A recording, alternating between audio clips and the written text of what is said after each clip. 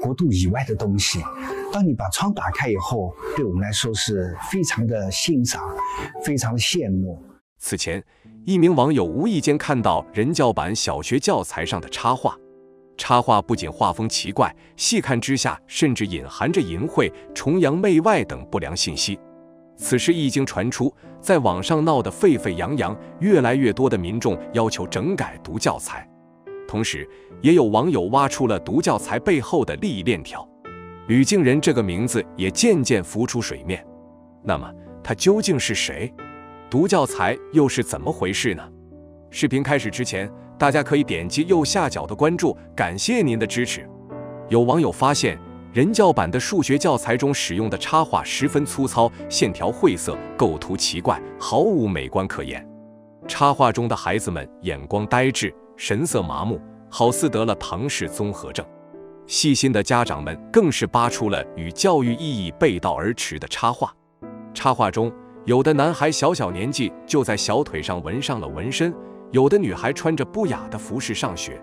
在操场活动的插画中，更是有男生掀女生裙子的动作，女生跳绳也暴露过多的场景。这不禁引人怀疑，插画师是有意将一些粗俗信息隐藏在插画中的吗？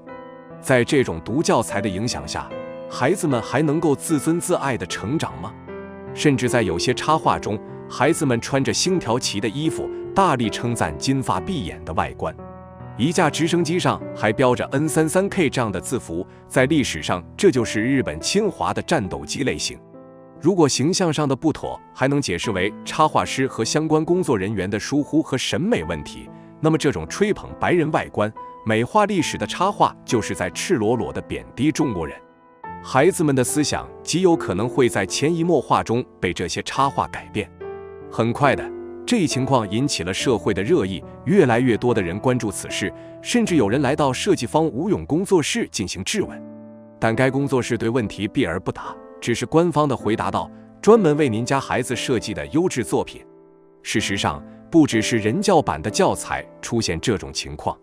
去年新疆就爆出。当地的教育厅领导沙塔尔沙乌策划和授意编写了包含血腥、恐怖和分裂思想的维吾尔语教材，而对于人教版这种全国范围内使用的毒教材，危害的是中国整整一代的青年儿童，我们更要严厉打击。对此，不少热心的网友在网上搜查出了人教版教材背后的人际关系网，吴勇、吕民、吕敬仁等名字逐渐浮出水面。在人教版的封面页可以看到，吕民和郑文娟负责封面设计，而版式和插图都由所谓的北京吴勇设计工作室负责。然而，尽管教材中标明的是这一工作室，网上可查询到的委托合同中也标注了北京吴勇设计工作室，但在我国的工商注册信息中并不存在这一记录。实际上，所谓的工作室就只有吴勇本人。那这一合同的委托方究竟是哪家公司呢？经过调查，细心的网友发现，负责封面设计的吕民名下有一个公司，叫做北京静人人静图文设计有限公司，其中吕民只持股百分之二十，真正的大股东是吕静人，持股百分之六十。这位吕敬人究竟是何许人也呢？原来，吕敬人正是大名鼎鼎的书籍装帧界的泰斗。生平获得了很多的荣誉和头衔。上世纪高考恢复后，他一举考上了哈尔滨师范学院的美术系。毕业后被分配到出版社工作。在清华美术学院，吴勇与吕敬人因缘相识，并成了他的学生。吴勇毕业后也进入出版社工作，成了吕敬人的直系下属。后来，吕敬人又得到了公派出国学习的机会。也就是在这次出国经历中。吕敬人拜见了日本的设计大师山浦康平，成为了他的徒弟。而吕敬人的大哥正是东京工学院的教授，他的引荐想必在其中起了巨大的作用。有了出国学习的经历，吕敬人回国后，在书籍装帧与设计的领域内扶摇直上，还一度获得了许多知名大奖，比如1986年第三届全国书籍装帧展封面设计的银奖。除此之外，他还得到了诸多头衔：国际平面设计联盟 AGI 会员、中央美院客座教授以及全国书籍装帧艺术委员会副主任等等，数不胜数。后来甚至成为了亚洲十大知名设计师之一。而吕民正是他的儿子，吴勇则是他的学生。综合以上信息就来看，吕敬人才是人教版教材的艺术设计总顾问，人教社应该是与他达成了设计协议，但吕敬人不方便签订委托设计制作合同，也没有自己主持设计工作，于是他派吕民和吴勇参与组织设计工作，用北京吴勇设计工作室这一不具备法律效益的名号签订合同，因此。吕敬人一直隐藏于背后，可以说，吕敬人在学术界获得了强大的声誉，不断开门收徒，扩大自己的实力，然后又凭借自己多年在出版社工作的经验，获得了编写教材的机会。在具体的业务上，他又用自己的名字和儿子吕民一同创办了北京敬人人敬图文设计有限公司，用来吸引合作伙伴，寻找商业机会。但一旦涉及合同签署，吕敬人又会使用有名无实的北京吴勇设计工作室来逃脱罪责。合同签署后，他不亲身参与，只是将教材的编写工作交给了儿子和徒弟。此外，吕敬人获得图书装帧界的泰斗称号已经二十多年了，收过的徒弟想必不止吴勇一人，拥有的资源和关系也是错综复杂。而除了公司之外，外界恐怕还有更多与吕敬人有关的公司企业占据了图书设计、加工等上下游产业。如果不能将这些蛀虫清理干净，像读教材这样的事情只会层出不穷。孩子是民族的希望，而教育他们更是重中之重。因此，读教材必须被清除，这样我们的国家和民族才有希望，才有未来。但是人们很好奇，吕敬人这种精明的商业思维是从哪里来的呢？作为一个学者，难道不会考虑违背学术道德的问题吗？其实我们再往前看，就会发现，吕敬人的父亲是一位商人，他的生意与日本人有着千丝万缕的联系，二者之间或许存在着关联。吕敬人的父亲名为吕叔陶，是一个棉纺织业的商人。吕家本来就是富裕之家，他们所穿的衣服也都源于意大利的设计师之手。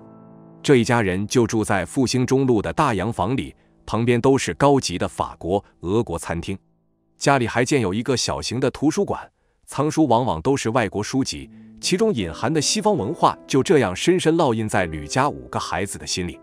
全面抗战爆发后，上海很快被日军占领，一部分民族企业为了保全实力，纷纷迁往内地，他们成为我国日后反攻的重要基石。而来不及迁走的一些企业都被日军强行占据了。当时，棉纺织品也被认定为军事战略物资之一，因此未能迁走的相关产业的民族企业只能停工，进而被日本政府接管，交给日籍会员工厂管理。这些日籍工厂有包括大康、裕丰、丰田等纱厂，除非工厂有跟日军的私人关系，否则难逃覆灭的命运。巧合的是。吕叔陶就有一家大康工厂。一九四二年，他发行了五万大康的股票，而那时上海已经被日军占据了，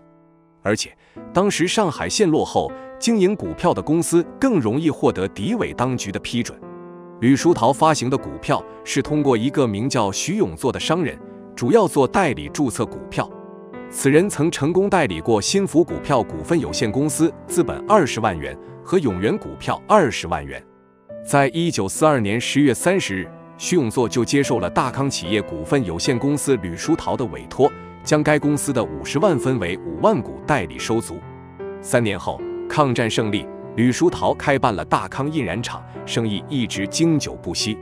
那么，吕书陶的大康厂与日籍大康工厂究竟有何联系？吕书桃为何能在日据时期生意兴隆，越做越大呢？大家心中想必都有答案。吕敬人的父辈就有着与日本侵华势力纠缠不清的关系，他自己从小也深受西方文化影响，这恐怕才是读教材产生的最终源头。当然，我国教育部也十分重视读教材事件。起初，教育部认为这只是出版社的文化审美出现了偏差，责令出版社和印刷厂进行整改，并加强审核制度。但家长们深感孩子受到了读教材的毒害，因此。家长们纷纷在评论区留言，认为这样的处理结果只是浮于表面，不尽人意，要求政府进一步调查相关人员，给公众一个答复。国家教育部也很重视公众的意见，于是再次对毒教材事件进行调查。很快，这一事件迎来了新的进展。从教材编审到上级审核部门，一共有二十七个相关人员被行政处罚和党内处罚，其中包括人教出版社社长、书记、总编辑等人。印刷厂的代理厂长施进也被抓捕并受到处理，而吴勇、吕民、吕敬仁等人也被禁止继续从事国家教材的设计工作。至此，从出版社到印刷厂。从设计者到执行者，读教材的上下游人员全部受到了处理。这个结果总算让家长们松了一口气。虽然有些网友希望能对相关人员进行刑事处罚，但且不说是否符合相关法律规定，教育部的处罚并不轻。这些被处罚的人在档案中留下了不好的记录，有的甚至被免了职。总之，家长、老师和孩子们经历了漫长的等待。最终成功见到了新启用的人教版教材。新的教材插画风格简洁美观，寓教于乐，既能提高孩子们的审美，也能弘扬他们的文化自信，深受老师家长们的欢迎。吴勇、吕民在吕敬仁的示意下，做出了伤天害理的毒教材事件。虽然吕敬仁在图书设计界名声赫赫，但是毫无疑问，他与这次毒教材事件是脱不了干系的。通过这次事件的洗礼。我们必须好好监管和反思中国的教育事业，不能再让某些崇洋媚外的专家在这一领域独断专行，也不能再让这样的毒教材再次出现在孩子们的课桌上，否则中国的文化、中国的自信就要受到腐蚀，这绝非我们想看到的事情。今天的视频到这里就结束了，觉得本期视频不错的可以点个关注，欢迎大家在评论区讨论更多的历史知识。